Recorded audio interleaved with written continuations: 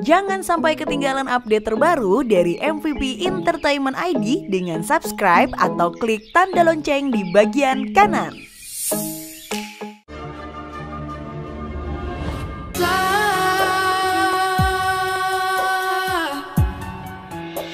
Ya udah, ini antar ke depan ya. Yuk.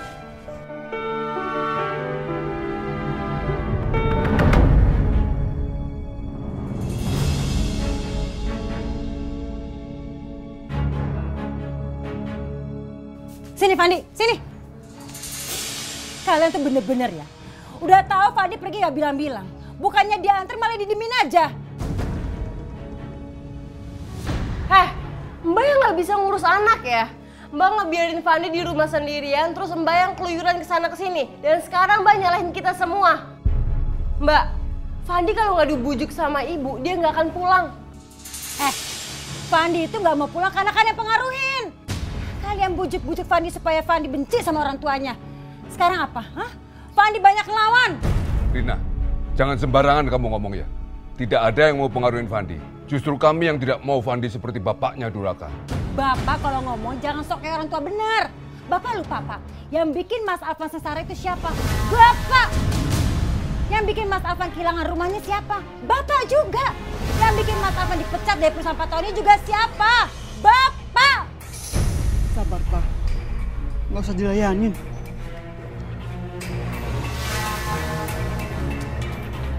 Terus sekarang apa? Kalian merasa jadi orang kaya, mentah-mentah tinggal di rumah seperti ini? Ingat, kalian semua itu masih jadi gembel. Kalian juga numpang tinggal di sini, gaya amat. Astagfirullahaladzim. Iya, tapi seenggaknya kita nggak ngambil rumah orang, nggak kayak Mbak sama Mas Alvan. Kamu ya, jangan kurang ngajar kalau ngomong. Ayo Fandi, kita pulang. Mama muak ngeliat muka-muka orang sok bener ini.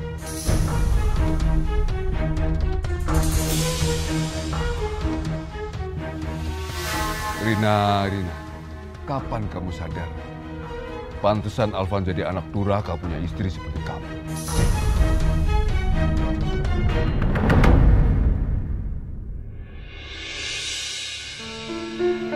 Fitri, kamu sudah siap? Ya Pak, aku udah siap. Selamat pagi, Ruslan. Selamat pagi, Bu. Loh, Ton, kamu kok tahu saya ada di sini? Arif Pak yang ngasih tahu. Bapak nggak keberatan kan? Enggak. Enggak keberatan Bapak. Justru Bapak udah kangen sama teman Bapak ini, udah lama nggak ketemu. Gimana kabarnya? Sehat? Baik, Ton. Apa kabar Pak Tony? Baik. Ibu sendiri bagaimana? Sehat? Alhamdulillah. Tapi sebenarnya ada keperluan apa kamu ke sini, Ton? Ini mengenai kerjasama kita yang dulu. Waktu kamu masih di bengkel Manto. Aku ingin meneruskannya di bengkel kamu. Bagaimana? Oh gitu, Ton. Oh, diterima. Ini uang mukanya. Ton, tapi saya nggak ada tempat, Ton. Pak, Bapak nggak usah khawatir soal itu. Aku udah urus semuanya. Ada bekas bengkelnya udah nggak kepake. Bapak bisa pakai itu. Emang nggak gede sih, tapi cukup. Tuh, tempat sudah ada. Apalagi? Semuanya udah beres kan?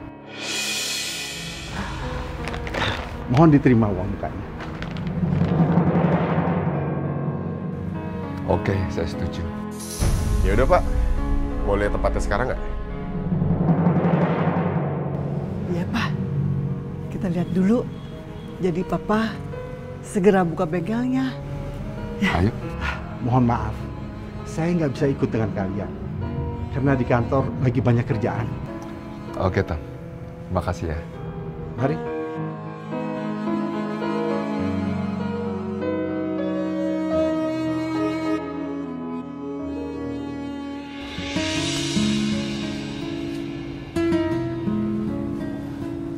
Ini Pak bengkelnya.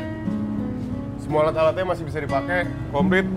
Wah, bagus bengkelnya ya. Lokasinya bagus lagi. Tapi kenapa sebelumnya tutup ya? Oh, yang punya sebelumnya meninggal. Ya, terus dia ninggalin banyak utang. Ya terpaksa bengkel ini jadinya disewain deh. Pak, Pasti bengkel ini rame. Selain peralatannya komplit, pinggir jalan. Amin. Aku juga udah gak sabar bu, pengen cepet-cepet buka ini bengkel. Alhamdulillah. Makasih ya, Rif ya.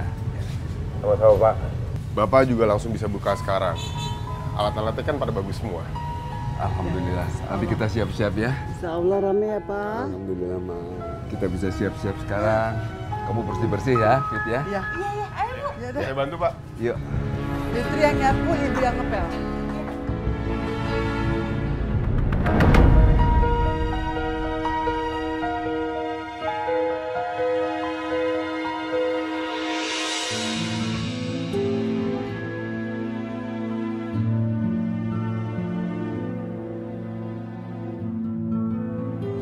Pak Ruslan. Bu Aminah, Arif izin pergi sebentar ya, ada urusan soalnya. Iya, Nak Arif. Terima kasih ya. Iya Pak. Assalamualaikum. Waalaikumsalam. Hati-hati ya. David. Hati-hati ya. Mah, mudah-mudahan bengkel kita nanti ini rame ya. Banyak dikunjungi pengunjung. Insya Allah. Ya, insya Allah Pak. Kalau kita berusaha pasti Allah memberi jalan. Ya. Bu, nanti aku juga bakal update di sosmed. Biar orang-orang jauh semuanya datang ke sini semua. Amin. Amin. Mereka lagi ngapain di situ? Ayo kita pergi, nanti Panti terlambat. Kamu minta antri papa kamu aja ya. Mama urusan. Ya, Mama pergi lagi. Panti diantar siapa ya? Aduh, Sarah mana sih? Ditelepon nggak diangkat-angkat. Pasti gara-gara Rina nih semua jadi kacau. Nggak tahu aku kangen apa? Kangen. Pak, Papa kangen sama siapa? Aduh. Oh, Papa kangen sama kamu. Kalau Papa kangen, Papa antarkan Fandi dong. Aduh, Papa sibuk banyak urusan. Ah, Ya udah, Fandi gak usah sekolah nih. eh, serah kamu lah. Fandi berangkat sendiri aja deh. Isi lah.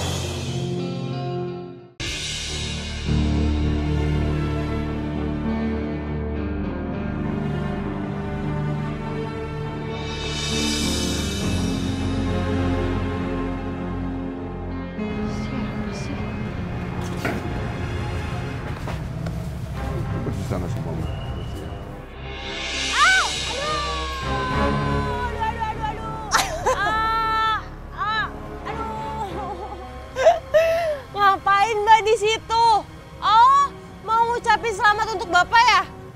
Buka bengkel baru. Diam kamu.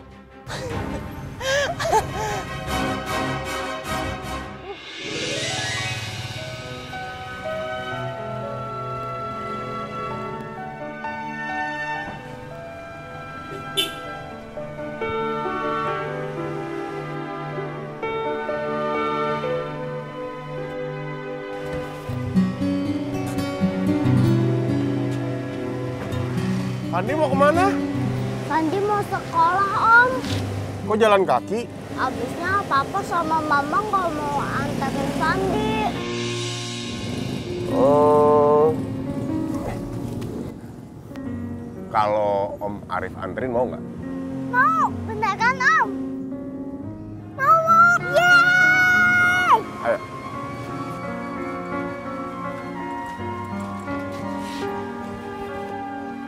Pakai safety belt ya.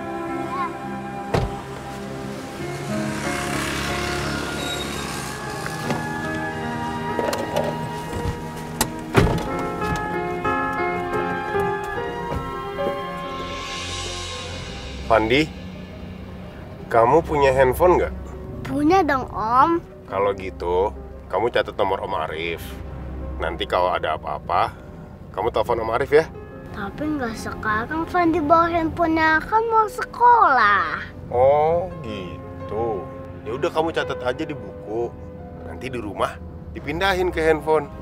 Oh iya, Fandi lupa.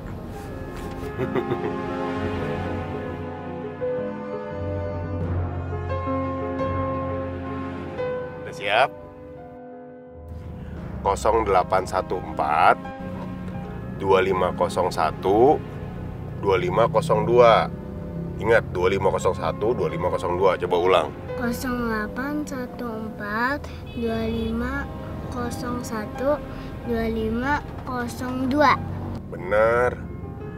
Nanti ingat kalau ada apa-apa telepon Om Arif. Jangan malu-malu. Oke om, omku baik banget sih kayak om Rido.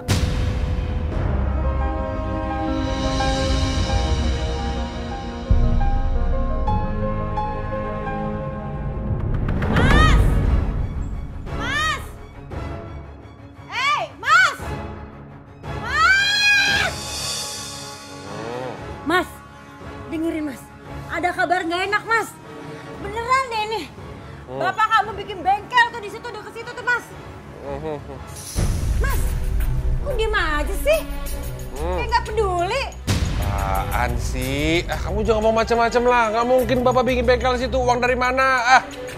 Aduh. Sejak hidup sama kamu sengsara aku. Udah nggak cocok.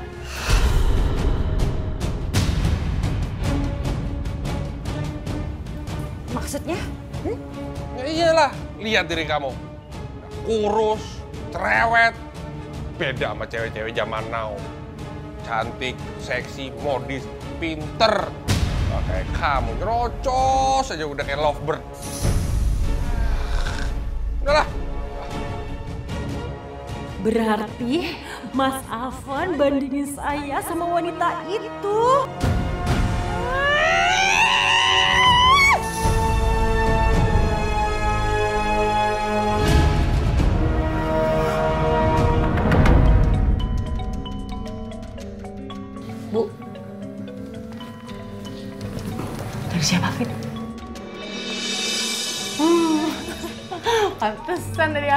Makanya nggak diangkat.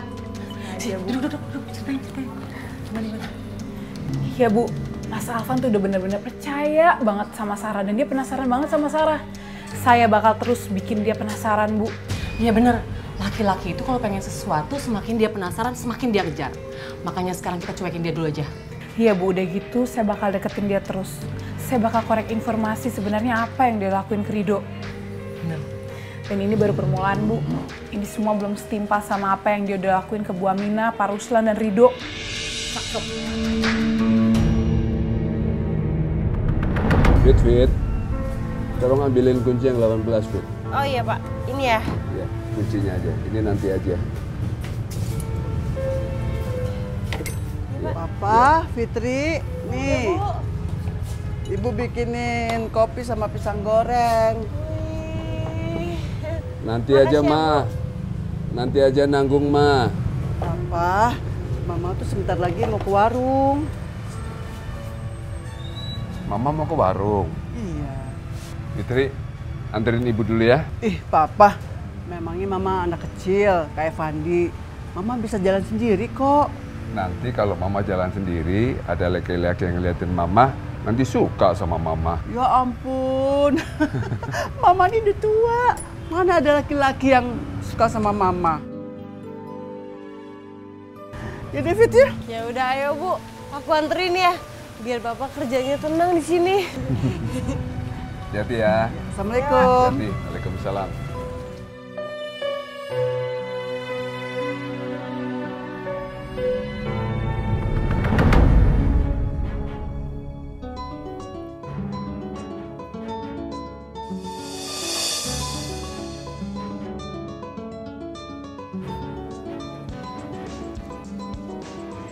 Andre? Halo dok, Iya, ini saya. Eh, saya sudah menyiapkan semua perawatan untuk Nur. Jadi besok pagi kamu bawa Nur ya ke rumah sakit. syukurlah. Iya dokter, besok saya akan ke rumah sakit ya bawa Nur. Tapi gimana sama suami saya ya dok? Saya takut dia akan mengacaukan perawatannya Nur. Soal suami kamu, biar saya yang menghadapi. Saya tahu caranya. Kamu nggak usah khawatir. Iya dokter. Terima kasih banyak ya.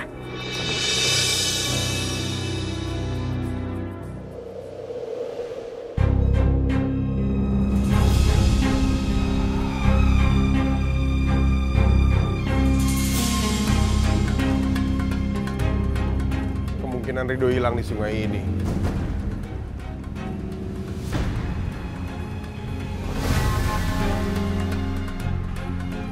Itu ada tukang bensin. Apa gue tanya ke dia aja kali ya? Siapa tahu dia tahu sesuatu.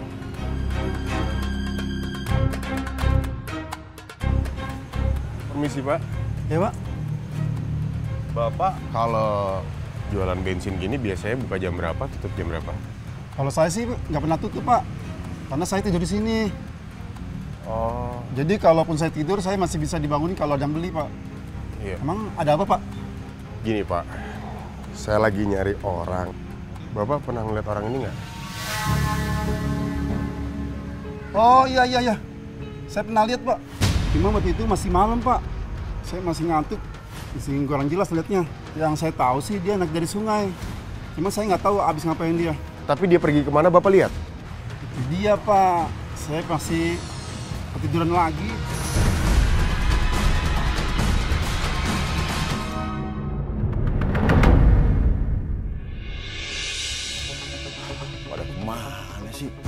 Kamar nggak ada. Mbak, Mbak, Nggih, Mas. kamu siapa? Kamu baru di sini ya? Nggih, saya murni, Mas. Mama, Papa, sama Diva mana? Duh, saya nggak tahu ya, Mas. Cuma tadi tuh mereka perginya pagi banget, Mas. Yaudah, yaudah, masuk lagi deh, dalam. Permisi nih, Mas. Ke mana ya? Ah, palingan mereka ke rumah sakit. Ke tempatnya dokter Andre. Gue harus ke sana. Diva, kamu sebaiknya yang tenang. Karena kan si Nur itu sudah ditangani sama dokter Andre, ya? Ma, bukan cuma Nur yang aku khawatirkan. Mas Fanu juga. Aku takut dia ke sini, terus dia mengacaukan semuanya. Sayang, Diva, kamu gak usah khawatir soal itu. Dokter Andre sudah urus semuanya.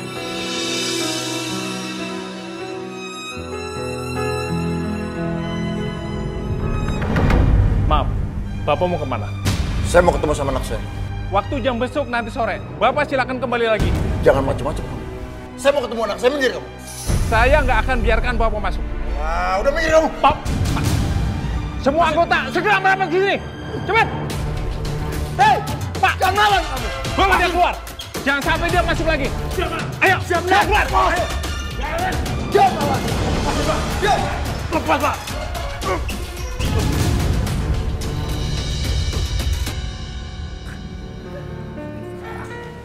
Dokter Andre sudah menyebarkan foto Devano ke semua satpam yang ada di rumah sakit ini. Jadi, kalau Devano datang ke sini, keamanan akan melarang dia untuk masuk ke rumah sakit. Aku harus berterima kasih sama dokter Andre, Pak. Karena sejauh ini dia udah melakukan apa pun demi kelancaran pengobatan Nur. Ah, Diva, dokter Andre mau ketemu sama kamu. Ayo, ayo sayang. Iya, Ma. Dok,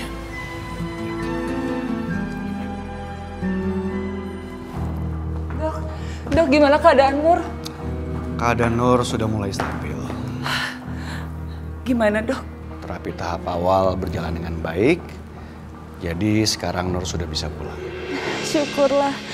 Kalau gitu Nur nggak perlu lagi transfusi darah kan? Sudah tidak perlu.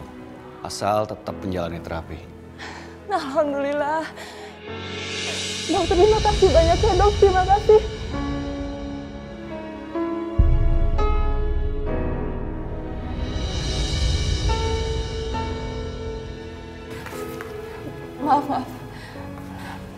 Saya nggak sengaja. Nggak apa-apa. Em, kamu nggak usah khawatir. Saya akan pastikan Nur dapat perawatan yang terbaik. Terima kasih ya dok. Ah, dokter terima kasih banyak ya dok. Sekali lagi terima kasih ya dokter. Saya benar-benar berutang budi sekali sama dokter. Sudah jadi tugas saya.